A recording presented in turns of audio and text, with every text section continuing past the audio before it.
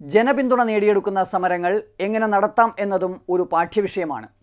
അടിയന്തരമായി പരിഹരിക്കേണ്ട പ്രശ്നങ്ങളിൽ ഒരു ജനപ്രതിനിധി എങ്ങനെ ഇടപെടണമെന്നത് സംബന്ധിച്ച് എ ഐ സി സി വക്താവ് കൂടിയായ Shri P C Chacko M പിയുടെ ഒരു ഡെമോൺസ്ട്രേഷനാണ് അടുത്തത്.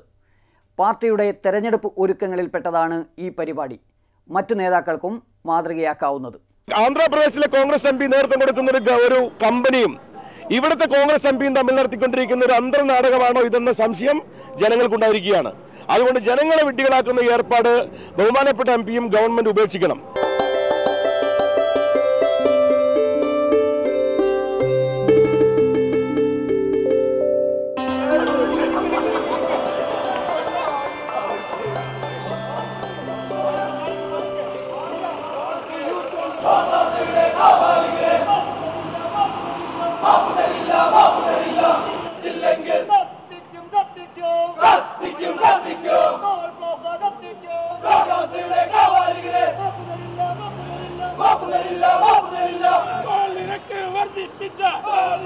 വർദ്ധിപ്പിച്ച ഗുണ്ടകളെ ടോൾ വർധനവ് അനുവദിക്കില്ല ടോൾ വർധനവ് പാടില്ല എന്ന നിലപാട് ഞങ്ങൾ അവരെ അറിയിച്ചിട്ടുണ്ട് ഞാൻ ഇക്കാര്യം ഈ കമ്പനിയുടെ ആളുകളും നാഷണൽ ഹൈവേയുടെ അതോറിറ്റിയുടെ ആളുകളും എന്നെ വന്ന് കണ്ടപ്പോൾ അവരുടെ സാന്നിധ്യത്തിൽ തന്നെ ഞാൻ മുഖ്യമന്ത്രിയെ വിളിച്ചിരുന്നു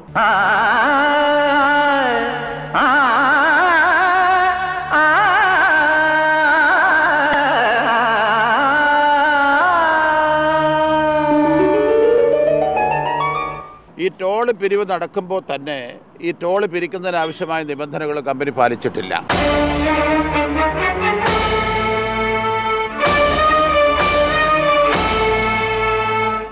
ഈ ടോൾ പിരിക്കുന്ന റോഡിൽ പല സ്ഥലങ്ങളിലും വെളിച്ചമില്ല ഡ്രെയിനേജ് ഇല്ല സർവീസ് റോഡുകളില്ല.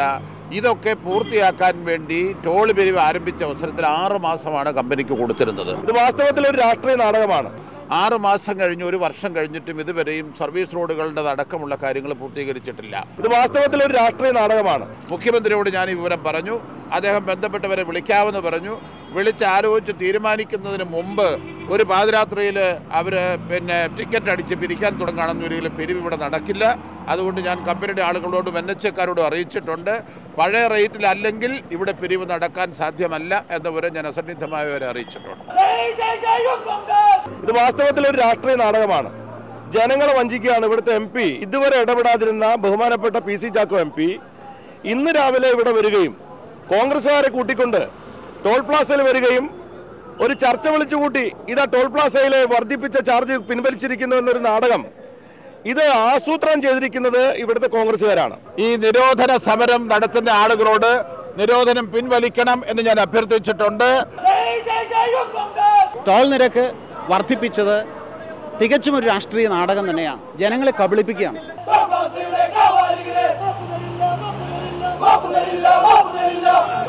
നിരക്ക് വർദ്ധിപ്പിച്ച നിരക്ക് വർദ്ധിപ്പിച്ച KMC ഗുണ്ടകളെ. ഗുണ്ടകളെ ഇവിടെ വന്ന് ഈ നാടകങ്ങളൊന്നും കളിച്ചുകൊണ്ട് ജനങ്ങളെ കണ്ണിൽ പൊടിയിടാനോ വിഡ്ഢികളാക്കാനോ ശ്രമിക്കരുത് എന്നാണ് ഞങ്ങൾക്ക് വിനീതമായി അഭ്യർത്ഥിക്കാനുള്ളത്. നിർഭാഗ്യവശാൽ രണ്ടായിരത്തി നാലിൽ ഉണ്ടാക്കിയ ഒരു ഒത്തുതീർപ്പ് കേരള ഗവൺമെന്റ് രണ്ടായിരത്തി നാലിലെ ഗവൺമെന്റ് ഒപ്പിട്ട് കൊടുത്തതാണ് ഇന്നും നമ്മൾ നടപ്പാക്കാൻ നിർബന്ധിതരായിരിക്കുന്നത്. ശ്രീ പി സി ചാക്കോ പറഞ്ഞതിൽ ഒരു സംശയമുണ്ട്. രണ്ടായിരത്തി നാലിലെ കരാറാണ് പ്രശ്നങ്ങളുടെ അടിസ്ഥാനം എന്നാണല്ലോ അങ്ങ് പറയുന്നത്. ശ്രീ ചാക്കോ അന്ന് ആരായിരുന്നു ഭരണത്തിൽ?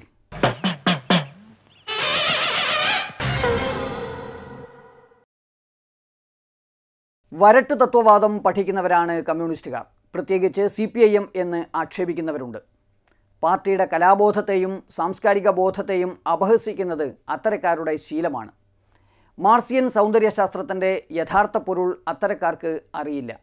അതിൽ പാട്ടുണ്ട് ആട്ടവുമുണ്ട്. കോട്ടയത്തും തൃശ്ശൂരിലും അത് നേരത്തെ കണ്ടതുമാണ്.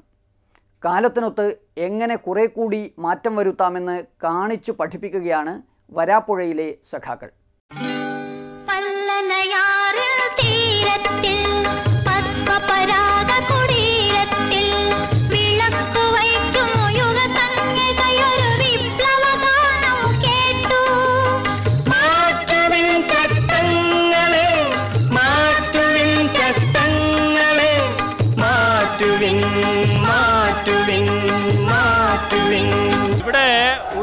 ഉഷാ പരിപാടിയൊന്നല്ല നടക്കുന്നത്.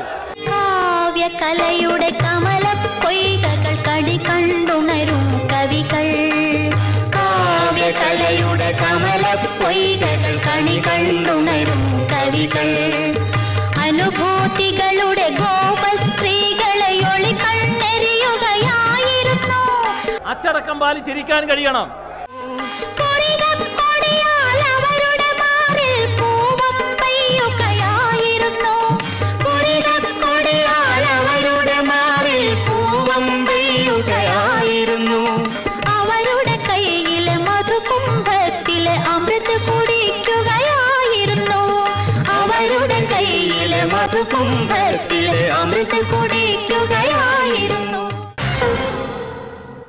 ചുവന്ന ബീക്കൺ ലൈറ്റുമിട്ട് പറക്കുക ആരുടെയും മോഹമാണ്. അതിനെ കുറ്റം പറയാൻ കഴിയില്ല. നാട്ടുകാർക്ക് അത് ശല്യമാകുന്നുണ്ടെന്നും വി വി ഐ പികളും വി ഐ പികളും അതിന്റെ ഉപയോഗം ഒഴിവാക്കണമെന്നുമെല്ലാം ചിലപ്പോൾ സുപ്രീം കോടതി പറയാറുണ്ട്. ഇത്തരം അസംബന്ധം കേട്ട് മമതാ ബാനർജിയെപ്പോലെ ചിലർ ചുവപ്പ് മാറ്റി നീലയും മഞ്ഞയും ആക്കാൻ പോകുന്നു എന്നും കേട്ടിട്ടുണ്ട്. കോടതി നിർദ്ദേശത്തോടുള്ള ആദരവ് കൊണ്ടൊന്നുമല്ല ഇത്. ചുവപ്പ് മായ്ക്കാൻ ജീവിതം മാറ്റിവെച്ച മമതയ്ക്ക് മുന്നിൽ ഒരു ബീക്കൺ ലൈറ്റും തടസ്സമാകരുത്. അത് മമതയുടെ രാഷ്ട്രീയം. ഉമ്മൻചാണ്ടി സർക്കാരും തിരുവഞ്ചൂരിന്റെ പോലീസും ഇങ്ങനെ പുറപ്പെട്ടാൽ എന്തു ചെയ്യും?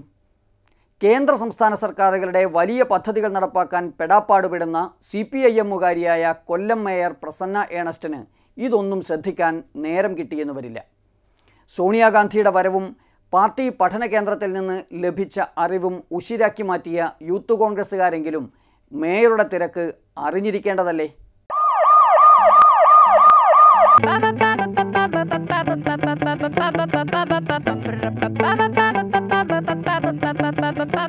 രാവിലെ ഞാൻ എന്റെ കൃത്യനിർവഹണത്തിന് വേണ്ടി ഞാൻ ഓഫീസിലേക്ക് കടന്നു വരികയായിരുന്നു. ഞാൻ കടന്നു വന്നപ്പോൾ തന്നെ സെക്യൂരിറ്റി വാഹനം അങ്ങോട്ട് കയറാനുള്ള എല്ലാ സജ്ജീകരണങ്ങൾ നടത്തിക്കൊണ്ടിരുന്നപ്പോൾ തന്നെ ഒരു പറ്റം ചെറുപ്പക്കാർ യൂത്ത് കോൺഗ്രസുകാർ അലറി എന്റെ കാറിന് മുമ്പിലേക്ക് വീണു. മാറ്റുക മാറ്റുക ചുമന്ന ലൈറ്റ് മാറ്റുക മാറ്റുക ചുമന്ന ലൈറ്റ് അപ്പോൾ ഞാൻ എന്താണെന്ന് അറിയാൻ ഞാനിങ്ങനെ പകച്ചു നിൽക്കുകയാണ്. അപ്പോഴാണ് മുദ്രാക്യം വിളിച്ചുകൊണ്ട് പിന്നെ മേയറുടെ ലൈറ്റ് വീണോന്ന് പറഞ്ഞ് ചാടി വീണു. മാറ്റുക ചുമന്ന ലൈറ്റ് മാറ്റുക മാറ്റുക ചുവന്ന ലൈറ്റ് 金大班金大班 ഇന്ത്യയിലുള്ള മുഴുവൻ മേയർമാർക്ക് ചുമതല ഏറ്റുവെച്ച് വെച്ച് പോകാം. കേരളത്തിലെ മേയർമാര് സി പി എമ്മിന്റെ മേയർമാരാണ് ലൈറ്റ് വെക്കേണ്ടെന്ന് എടുത്തിട്ടുള്ള തീരുമാനം രാഷ്ട്രീയപരമാണ്. മുന്നൂറ്റി എഴുന്നൂറ്റി മൂവായിരത്തി എഴുന്നൂറ്റി അമ്പത് കോടി രൂപയുടെ പ്രോജക്ട് കഴിഞ്ഞ കൗൺസിൽ പാസാക്കി ഇന്ന് എനിക്ക് പന്ത്രണ്ട് മണിക്ക് മുമ്പ് അത് ഗവൺമെന്റ് സമർപ്പിക്കേണ്ടതായിട്ടുണ്ട്. ശ്രീമാൻ നമ്മുടെ എസ് ഐ ആയിട്ടുള്ള ഗോപൻ ഇവിടെ വന്നു. അപ്പൊ ഇവരെ അറസ്റ്റ് ചെയ്തുകൂടെ എന്ന് ചോദിച്ചപ്പോൾ ആ ശ്രീമാൻ ഗോപൻ എന്നോട് ചോദിക്കുന്നു അറസ്റ്റ് ചെയ്യുന്നതിന് അടിച്ചു പൊട്ടിച്ചോന്നോ അടിച്ചോ വല്ല പാടുണ്ടെങ്കിൽ കാണിക്കണം. ഈ ധിക്കാരപരമായ എന്നോട് പാടി ചോദിച്ച ഈ ഈസ്റ്റ് എസ് ധിക്കാരപരമായ നിലപാടിൽ പ്രതിഷേധിച്ചുകൊണ്ടാണ് ഞങ്ങൾ പോലീസ് വാഹനം തടഞ്ഞിട്ടുള്ളത്.